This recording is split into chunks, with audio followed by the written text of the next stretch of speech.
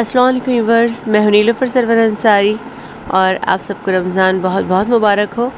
तो आज हम एक स्पेशल रेसिपी लाए हैं रमज़ान के लिए। ये बहुत ही बेहतरीन बनते हैं मीट बॉल्स जो एक पार्टी रेसिपी है और इसे बनाना भी बहुत आसान है। आप इसे एक बार बनाएँगे ना तो इसी तरह से बार बार बनाएँगे। बहुत ही मज़ेदार डिश है ये और इसके साथ हम स्पेशल इमली की चटनी बनाते हैं, जिसकी रेसिपी हम पहले ही अपलोड कर चुके हैं। तो जिसका लिंक हम आपको डिस्क्रिप्शन बॉक्स में दे देंगे तो आप ज़रूर इसके साथ इस चटनी को बनाइएगा। तो देखिए किस तरह से बनते हैं ये स्टार्ट करते हैं। बिस्मिल्लाहिर्रहमान रहीम हम आपको एक किलो की रेसिपी बता रहे हैं। उस हिसाब से आप जितने चाहें उतने ये मीट बॉल्स बना सकते हैं। तो सबसे पहले हम गरम मसाला निकाल देंगे। गरम मसाले में आपको दो तेज पत्ते लेने हैं। वन टेबल स्पून काली मिर्ची लेनी है। आधा टेबल स्पून आपको सौंफ लेनी है। वन टेबल स्पून ज़ीरा ले लें साबित, दो इंच का दालचीनी का टुकड़ा ले लें, छः हरी इलायची ले लें और छः ही लौंगे ले लें। इन सारे मसालों के साथ आपको धनिया भी ऐड करना है इसमें।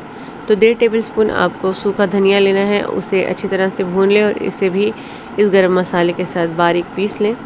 याद रखें कि गरम मसाले को अच्छी तरह से बारीक पीसना ज़रूरी है और इसे साइड में रख दें।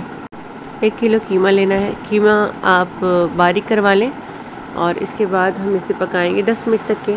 तो इसे पकाने से पहले हम इसमें ऐड करेंगे टू टेबल स्पून लहसुन का पेस्ट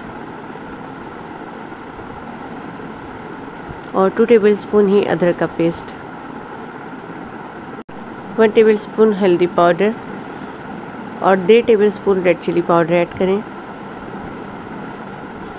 अब इसके साथ ही इसमें हमने जो गरम मसाला पीस के रखा था बारीक, उसे ऐड कर देंगे। जिसमें हमने सूखा धनिया भी शामिल किया है। इसे ऐड करें। इसके साथ ही इसमें एक टेबल स्पून आपको नमक ऐड करना है।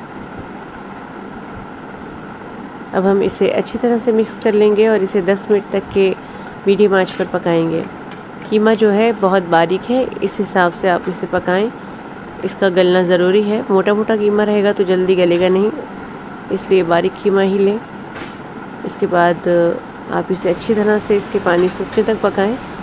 आप चाहे तो इसे मटन से बना सकते हैं या आप बड़े के कीमे से भी इसे बना सकते हैं। आँच को मीडियम रखना है और इसे बीच बीच में चम्मच चलाते हुए पकाना है। अब जो कीमा है, अच्छी तरह से गल चुका है और इसका जो पानी है, वो सूख चुका है। इसे हम एक बड़ी सी प्लेट में निकाल देंगे और इसे ठंडा होने देंगे। पाव किलो प्याज, यानी कि 250 ग्राम प्याज को इस तरह से लंबाई में पतला पतला काट लें। इसी के साथ इसमें करी पत्ते ऐड कर दें। तो हमने कुछ आठ स्टिक करी पत्ते के लिए थे। उसे अच्छे से धो लिया और इसके साथ ही हम इसे बारीक क्रश कर लेंगे। तो इन दोनों को हम बारीक क्रश कर लेते हैं। इस तरह से हमने इसे क्रश कर लिया है।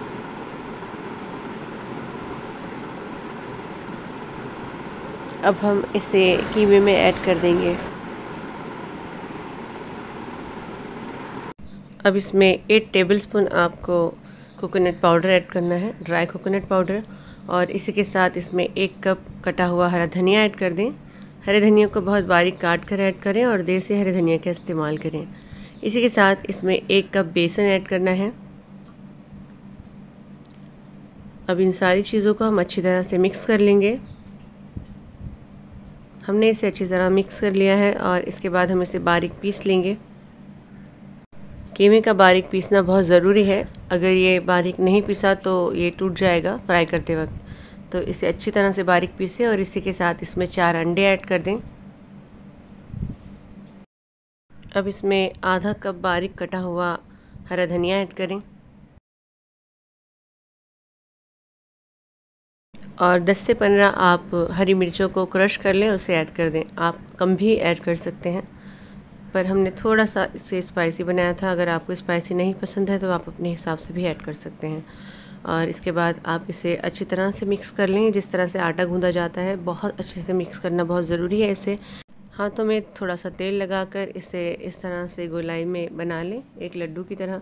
लेकिन, जो इसका साइज़ है, बहुत ज़्यादा बड़ा नहीं होना चाहिए।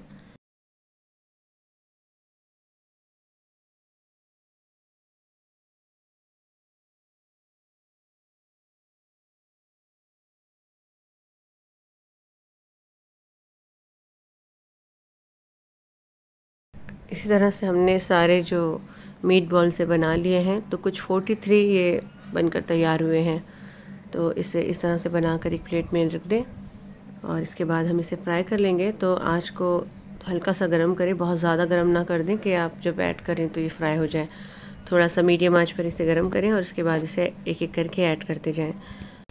याद रहे कि इसे हमें डीप फ्राई करना है और जब हम इसे ऑयल में ऐड करेंगे ना तो थोड़ी देर तक इसे इसी तरह से फ्राई होने दें।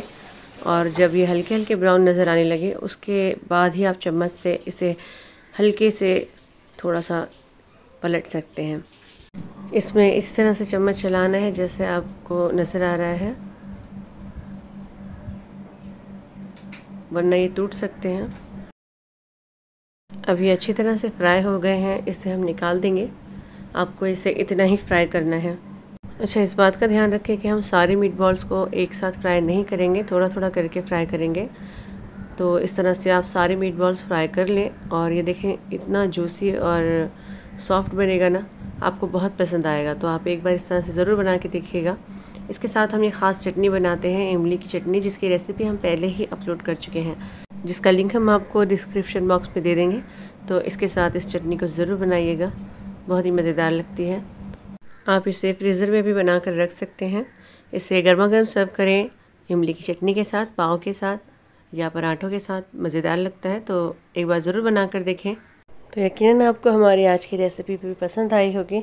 इसी तरह की और भी बेहतरीन रेसिपीज़ हम आपके साथ शेयर करते जाएँगे। तो जो नए देख रहे हैं ना, वो अब भी हमारे चैनल को सब्सक्राइब कर दें शेयर कर दें लाइक कर दें और बेल आइकन के बटन को दबाना बिल्कुल ना भूलें ताकि आपको आने वाली वीडियोज़ की नोटिफिकेशन मिलती रहे, ये फ्री है। दुआ में याद रखें। अस्सलाम